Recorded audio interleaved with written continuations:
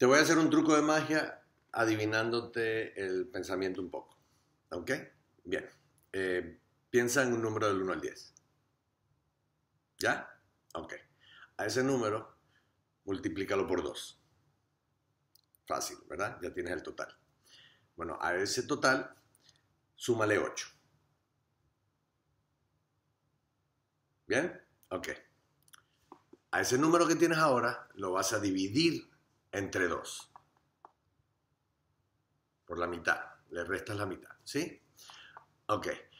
Y ahora, réstale el número original en el que pensaste. ¿Bien? Ok, no es muy complicado. Ahora le vas a aplicar la letra del abecedario al que le pertenece tu número. Por ejemplo, A1, B2, C3, D4, así. ¿Bien? Ok.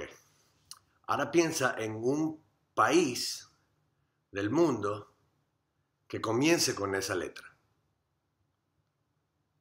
Bien, un país del mundo que comience con la letra al que le pertenece tu número.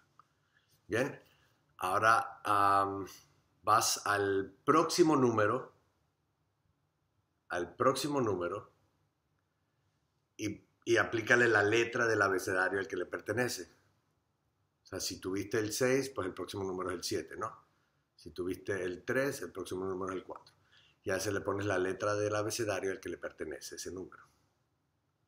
Bien, ahora con esa letra piensa en un animal. Ya lo tienes.